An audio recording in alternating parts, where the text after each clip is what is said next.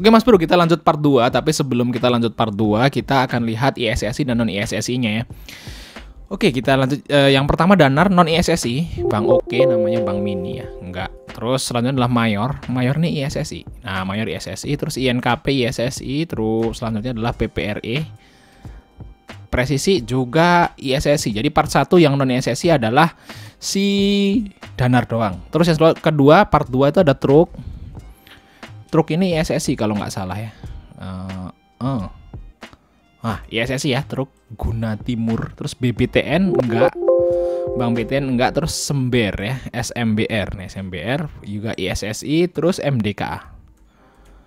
ISSI. Jadi yang nggak ISSI cuma Bang doang ya, Bang Danar, Bang Oke dan Bang B Bang BTN. Nah, jadi uh, namanya ISSI yang dua enggak.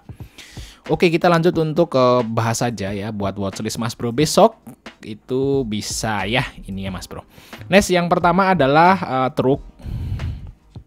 Nah, doji. Nah, truk ini juga udah bentuk doji setelah tiga hari uh, apa namanya si merah ya, dia bentuk doji. Nah, ini untuk truk Mas Bro. Nice. Nah, biasanya setelah dia merah terus hijau, hari keduanya sempat naik baru kempes lagi seperti itu. Nah, ini semoga besok juga naik untuk truk. Nah, ini ada uh, bau-bau mau dinaikin Mas Bro untuk truk ya. Ya, tapi um, jangan jangan greedy ya. Kalau yang seperti ini ambil beberapa T, TP keluar gitu aja untuk truk seperti ini. Kita lihat di sini untuk broker Sameri, truk memang masih minus ya.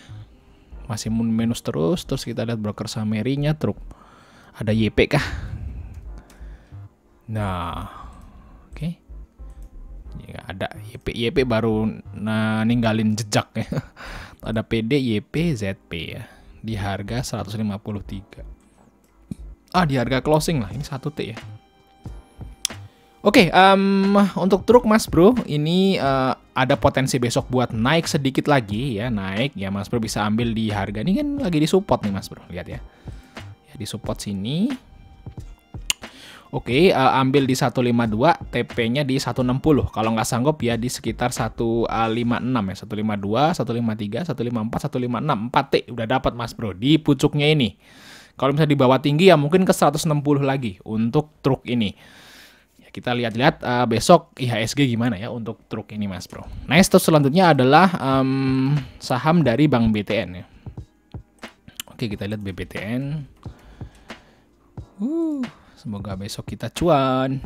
Nah, BBTM juga kayak udah mantul gitu ya di uh, support supportnya di sini volumenya juga lumayan besar di harga 1685. Eh, nah, ini uh, besok kita ambil shadownya Mas Bro untuk BBTN karena untuk uh, penurunan hari ini itu volumenya kecil ya, udah mulai mengecil ya tiba-tiba tek tek tek tek. Berarti kan ini udah udah capek jual. Udah uh, jenuh jual lah. Di sini jenuh jual, turun gede dan sekarang cuman kecil. Volumenya kecil sekarang penurunannya. Dan uh, menurut saya besok mau bikin doji mau bikin doji juga ini. Nah kita bisa uh, eh, TP besok ya. Semoga. Bismillah. Nah, kita lihat di sini untuk BBTN uh, bagi teman-teman yang nggak uh, mentingin ISSI karena ini non ISSI bisa ambil BBTN PBV masih murah. Ya salah satu-satunya bank besar. Dengan PBV under satu ya cuman BBTN jadi BBTN tuh bank yang paling murah PBV-nya Terus untuk profitnya juga naik ya, kurang apa lagi ya. Equity juga naik, bagus lah BBTN ya. Bagus BBTN. Wih, bank yang luar biasa kalau menurut saya sih BBTN. Kita lihat broker Sameri dari BBTN di sini adakah asing yang akumulasi? Ya, AK kayaknya. Nah, AK ambil uh, di 1683 dia ambil 4 miliar. 1683 ya di harga closing AK beli di harga closing ya. Ya ini ya harga closing. Kita besok ambil shadownya set gitu. Uh, nanti kita langsung TP ya Mas Bro eh jangan ditunggu ya. Ini uh, ya IHSG kayaknya belum normal. Jadi pagi-pagi harusnya itu Mas Bro udah TP. Oke kita ambil di sini untuk uh, harga closingnya di uh, 1685 Nah, kita nanti TP di sini Mas Bro ya, di sekitar saat di uh, eh, 1715 di body candle-nya atau di shadow-nya di sini Mas Bro. Nah, ini besok uh, apa nama jarak TP kita di 1715 sampai 1730. Semoga besok uh, bentuk shadow sampai ke atas itu ya untuk BBTN. Terus selanjutnya adalah SMBR.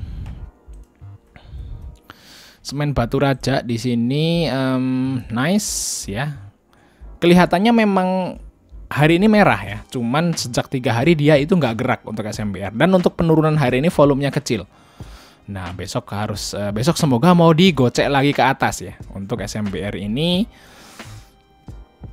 target ya seribu lah. Bismillah bisa ini SMBR ya seribu. Target seribu. Kalau saya sih bisa nanti ya. Tunggu aja dulu tanggal mainnya ya. Nanti bareng Wika PTPP naik ini SMBR naik. Dan pasti naik mas bro tinggal sabar dulu aja Wika TPTPP ADI itu nanti naik tinggal tunggu aja dulu sebentar lagi ya sebentar lagi ya nggak lama mas bro ya sebulan gitu Januari gitu harusnya udah beda lagi auranya tunggu sebentar lagi kalau menurut saya sih kalau di bawah turun nanti tunggu dulu. Makanya saya bilang tadi kalau kayak konstruksi tunggu dulu sampai asingnya masuk baru kita masuk ya fresh down. Harusnya nanti bisa cuan.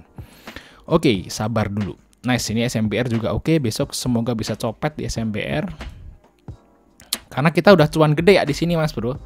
Di tanggal 30 November kita cuan. Hari ini turun tapi volumenya kecil ya. Kita lihat di sini SMBR. Oke. Uh, Q3-nya kah? Oh iya, saya udah baca.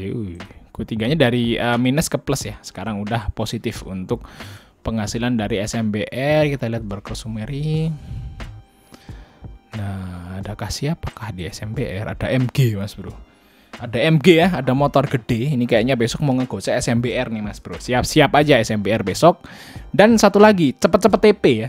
Jangan ditunggu, nanti bisa bentuk doji turun lagi cepet-cepet TP ini ada motor gede ya motor gede itu beli di e, eh, 4000 lot di 271 AVG-nya 678 nah motor gede beli di sini ya 678 di sinilah ya Mas Bro kalau besok ambil e, eh, SMBR itu AVG-nya nanti di bawah MG oke targetnya ke mana ya di sini Mas Bro Nah, kita itu untuk copet besok ya ambil di 670, TP di 690 atau satu T di bawahnya 695. Nanti kita uh, longsor, kita udah sempet TP duluan itu untuk SMPR. Ada MG soalnya Mas, Bro. Nah, terus selanjutnya uh, adalah MDKA yang terakhir ya. Uh, Merdeka Chopper Gold. Nah, di sini gede ya untuk bitnya. Wah, di siapa ini ngebit? Oh oh oh oh oh oh oh oh oh oh oh aduh lemot sekali.